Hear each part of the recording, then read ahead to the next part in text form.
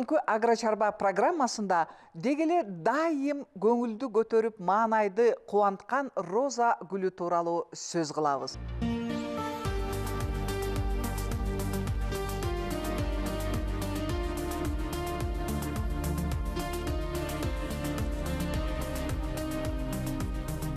роза гүлүн кыргызстанда кантип жакшы өстүрүп алса болот жана аны көбөйтүү үчүн кандай дары дармек кошумча берүү керек? Кайсы учурда туура сугаруу керек тууралуу кененирээк маалымат бергени бүгүн аракет кылып атайын биз айыл чарба илимдеринин кандидаты кызайым эргешованы биз студияга чакырганбыз. Саламатсызбы кандайсыз? Жакшы бүгүнкү күндө э, кандай жакшы роза гүлдөрдү өстүрсө болот кызайым эргешовна мына сиз көп жылдан бери ошол роза гүлүн э, өстүрүп аны көбөйткөнү аракеттерди жасап жүрөсүз кыргызстан боюнча жайылтып. Айтсаңыз э, кыргызстанда розанын кандай түрлөрү кайсы жерлерде жакшы өсөт? Роза гүлү кызыл гүл деп айтабыз кыргызча бул гүлдүн э, мааниси өтө зор. Э, биринчиден э, тегеректи айлана чөйрөнү кооздойт экинчиден э, баягы бажырайып ачылып турган гүлдү карасаң көңүлүң көтөрүлөт маанайың көтөрүлөт ыр жазасың дегендей. Экинчи жагы бул мынандай гүл желекчелерден кургатып аларды демдеп тамак ооруга дагы ошол элдик медицинада колдонуп жүрүшөт экен. Үчүнчүдөн бул гүлдөрдү көбөйтүп сатып акча таап бизнес кылса да болот да. Баардык жерде эле өсө алат. Түштүктөгүдөй кеч күзгө чейин өспөсө дагы нарында деле суук жерлерде деле бул гүлдөр өсө алат. Булар көп жылдык. Булар кандай түргө бөлүнөт? Суук жерди ысык жерди тандайбы розалар же кандай? Ал айдын тоолорунда деле барсаң гүл өсүп турат нарында деле өсүп атат. Бүгүнкү күндө голландиянын гибридтери абдан көп болуп атат. Роза гүлү эки жол менен көбөйөт. Биринчи жанагы ит мурундун уругуну сээп коюп анан ушундай бир карандаштын көлөмүндөй болгон кезде жанагы алма дарактарын көбөйткөндөй эле т формада могу жеринен кайшылаштырат э? жыйырма сантиметр жерден жогору жагынан т формасында бул кабыгын ачып туруп эле башка гүлдүн бүчүрү болот да ошо бүчүрдү моундай кылып тиги бычак менен акырын алып туруп анан ошол жака салат. Бул эми өтө кылдаттык менен жасалган жолу да. Экинчи жолу түбүн кыйгач кесебиз роза гүлүн кайсы учурда күздөбү же жаздабы кантип көбөйтүп алса болот? Көбүнчө күзүндө себеби биз кышка даярдап баарын кесип салабыз да ошол учурда ыргыткандын ордуна бышкан бутакты кесип алабыз дагы үстүн кесип коебуз жалбыракты да алабыз да бир жалбырак калтырабыз дагы ушуну дагы мындай дайындап алабыз. Мына могу жерде мына бышкан ушул кичинекей сабактан да көбөйтсө болот э? Көбөйтсө болот. Жөөк ачабыз жыйырма отуз кырк сантиметрге чейин могул жөөктүн ортосу ачылат. Бул жерге деген түбүнө кыктан салабыз. Суудан куябыз. Эки бетине шахмат түрдө отургузабыз. Жайында дагы кеч күздө да муну жасасак болот. Кырындыдан үстүнө момундай кылып нымды жаап койсок болот. Себелетип койгондон кийин тирегичтерди коюп үстүн пленка менен жаап коебуз анан күн катуусса эки башын анан өтө кичине булар деген адаптация болуп кичине көнүп калганда пленканы такыр эле алып салабыз. Жайда дагы баягы гүлдөп бүткөндөн кийин аны жасасак болот сөзсүз түрдө ным туруш керек топурак кургабаш керек. Кайсы учурда сугарыш керек? Анан бул сууну өтө сүйөбү же сүйбөйбү? Бир жумада бир сөзсүз күн ысыганда көбүрөөк сугарабыз анан күздө азыр сугарбайбыз сөзсүз түрдө жумшартабыз. Кызайым эргешовна рахмат. Ушунчалык жакшы э, пайдалуу кеңеш айттыңыз. Себеби жөнөкөй эле ыкма менен кантип роза гүлүн көбөйтүп алса боло турганы ишиңизде ийгиликтер болсун. Рахмат. Э, жакшы барыңыз. Дайым жакшы иштерге э, күбө болуп бизге жакшы нерселерди сунуш кыла бериңиздер. Сиздер бүгүнкү азыркы көрсөтүүдөн кантип роза гүлүн көбөйтсө боло турганы тууралуу көрдүңүздөр. Биз бүгүнкү программабызды чындап далилдеш үчүн азыр ошол жети жүз элүүдөн ашык розанын түрлөрүн өстүрүп баардык кыргызстандын булуң бурчуна таанытып аткан багбанды сиздер менен чогуу барып көрөбүз. Мынакей азыр роза талаасында турабыз. Бул роза гүлдөрдүн кандай сортторун бүгүнкү күндө биздин каарманыбыз кантип өстүрүп аны кантип кыргызстан боюнча жайылтып жатканын азыр чогуу көрүп күбө болобуз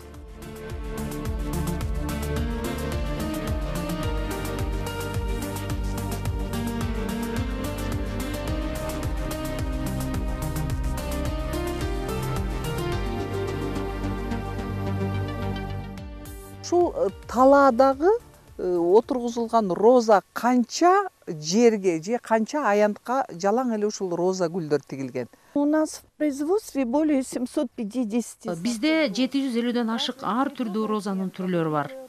Ак түстөн баштап кызыл кочкул кызыл сары ала кызыл жашыл сары түстөрүнө чейин. Роза гүлүн кооздук үчүн үйдүн алдына короолорго офистерге эс алуучу жерлерге парктарга көчөлөргө айтор каалаган жерге тиксе болот. Ооруларга туруштук бере турган жакшы сортторун ит мурун менен кыйыштырып өстүрөмүн. Мына бул роза жан көктөө деп аталат. Гүлдөрү шамалга куюлбайт. Бекем туруктуу ысык көлдүн климаттык шартына туура келет. Негизи өстүрсө ыңгайлуу. Хорош для озеленения на иссыкуле, прочные, жесткие лепестки. Вот на любителя очень шикарная вот эта мына бул кочкул кызыл роза француздар чыгарган романтика деген тобуна кирет жылдын төрт мезгилинде тең гүлдөйт гүлдөрүн түйгөндө укмуш он үч он беш сантиметрге чейин жетип гүлдөрү бажырайып чоң чоң розалар жыты да керемет Видите, до 15 сантиметров. У них середка квадратируемая, то есть несколько таких вот.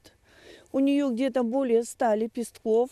И вы понюхайте, как она отлично пахнет. кооздугун карасаң Сейчас мода. Инна, Это срезочный сорт. Из оранжевых он сейчас самый такой модный. а бул э, кызгылт сары түрү абдан азыр популярдуу гүлү бажырайып Вытягивает жыйырма сантиметрге чейин жетет сантиметров. ачылгандан кийин көпкө чыдайт гүлү бышык болуп сабагында Мы турат его покупали как срезочный сорт, но я вот наблюдаю,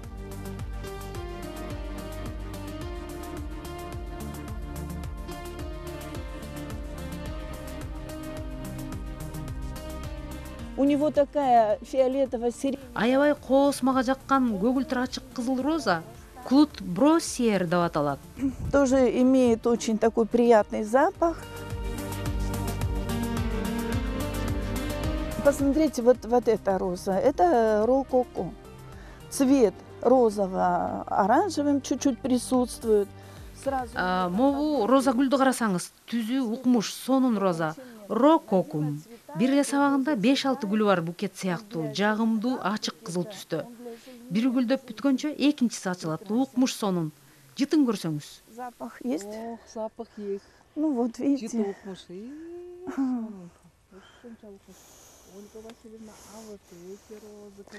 Ну вот это, вот здесь вот вы видите, понемногу, понемногу, это новые сорта.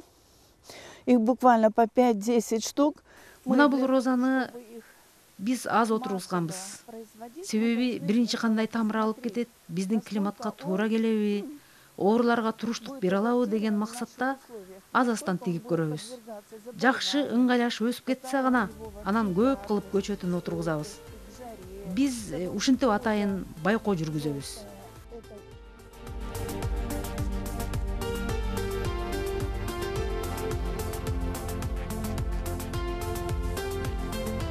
Вот сейчас модно вот такие помпонные розы, которые не раскрываются. Вот это называется пинк пиано. айнура бул гүлдүн аты они турмушка чыгып жаткан кыздарга а, белек кылат бул роза толук ачылбайт бутон боюнча эле калат Да, когда да, невеста бросает, это вот пинк пиано. они так же до конца остаются как Да, они до конца остаются не раскрытые. раскрыты как бутон А вот это вот рядом другой сорт. Фредерик Мистраль. Ушул эле гүлгө катар турган мынакей бул роза фредрих мистраль деп аталат айнура жыттап көрсөңүз укмуш сонун буркурайт бул дагы розанын романтика деген тобуна кирет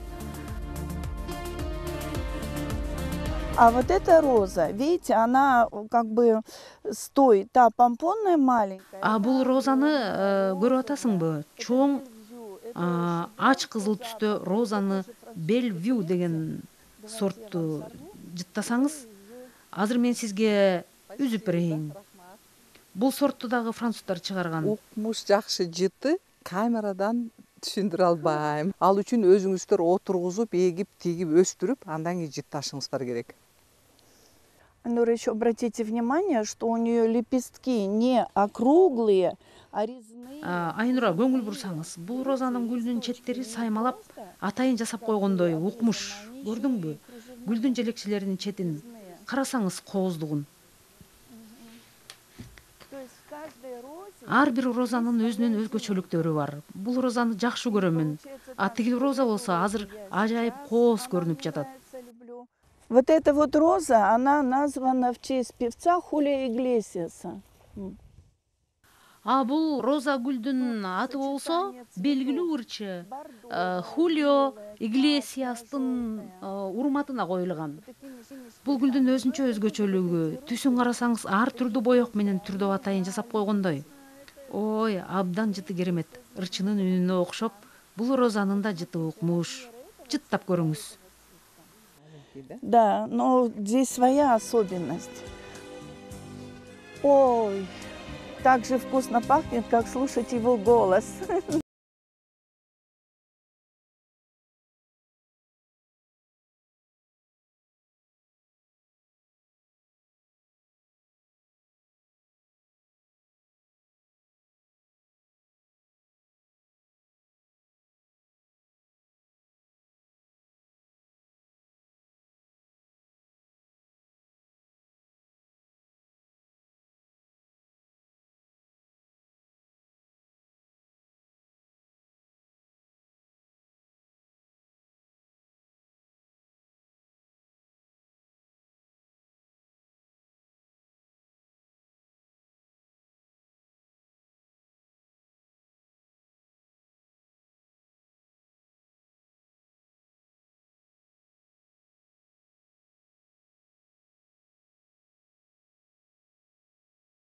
батир кеби же жеке менчик жер үй болсо деле огородуна короосуна тигип ушул гүлдүн кооздугуна жана жыттуулугуна ырахатка батса болот. Анора, вот эта вот э, роза английская, Манстедвуд, она имеет такую... А, бул роза англиядан келген монстел гуд деп аталат бул розанын түсү өзүнчө бир кереметтүү боек менен атайы боелгондой жыты сонун. Розанын бул түрүн үчтөн бештен кылып көчөтүн отургузуу керек. Анан булар бийиктиги бир жарым метрге чейин жетет. Диаметри да бир жарым метрдин тегерегинде болот. Бул ажырап бөлүнүп калбай дарак болуп чогуу сонун өсөт. Ар бир көчөтүнүн аралыгында алтымыш сантиметрден отургузса жакшы.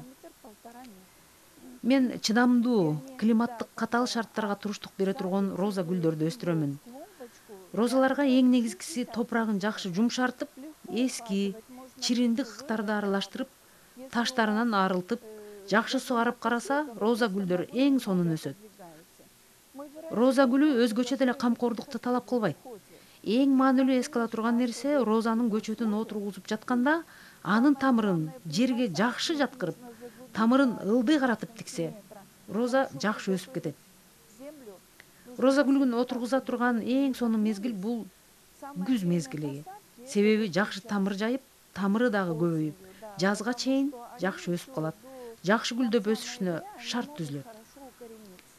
Эгерде күздө убактыңыз болбосо жазда тиксеңиз да болот. Каалаган учурда жаз менен күздө отургузса роза гүлү өсө берет. Ысык көлдүн климатына эң жакшы жазында Потому что они после хранения начинают трогаться в рост, и им надлежащий уход, полив, и они будут прекрасно цвести и радовать вас. А, ольга васильевна а ушул э, жер семирткичтер менен роза гүлдөрүн мындай азыктандырганда э, ушу табигый жаратылыш кыктар менен кадимки эле ошол азыктандырган жакшыбы же башка дагы кошумча химикаттар бериш керекпи Роза навоз очень любит, очень.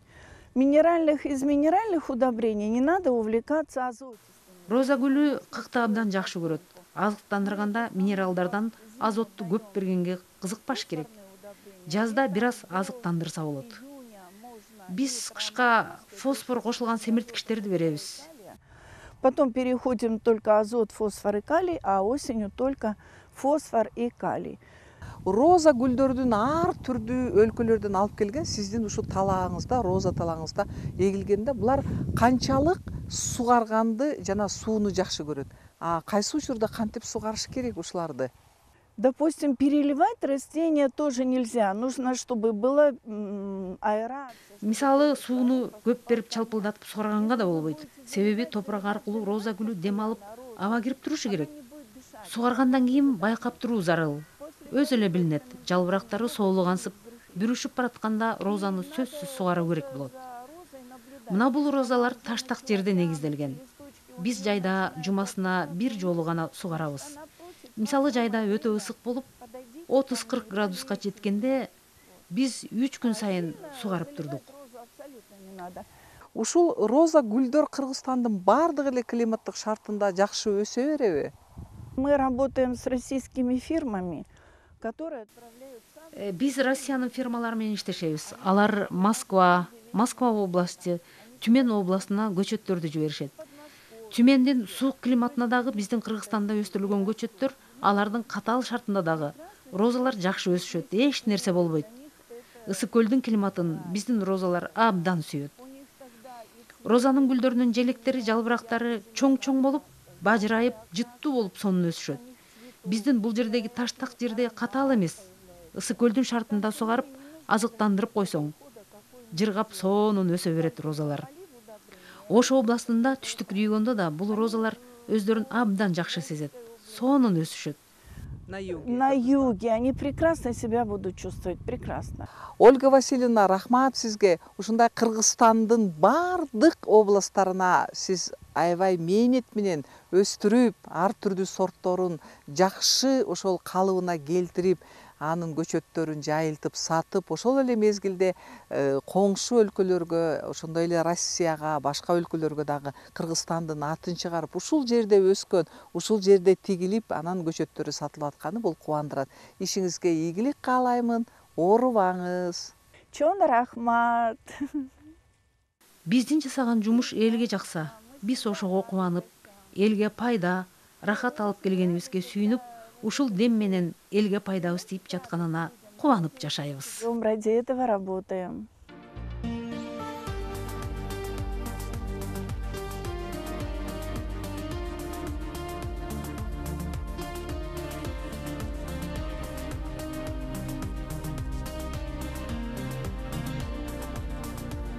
Бүгүн биз көрсөтүүбүздө роза гүлдөрү тууралуу сөз кылдык розаны кантип жакшы өстүрүп кыргызстандын атын чыгарып аткан каарманыбыз бизге кенен маалымат бергени аракет кылды ошондуктан кимде ким роза гүлүн сүйсө ушинтип розалардын түрлөрүн өстүрүп алып дагы өзүңүзгө рахат алсаңыз болот. Андыктан бүгүнкү программадан сиздердин баардыгыңыздарга жыттуу жана жагымдуу маанай тартуулап роза гүлүн белек кылабыз.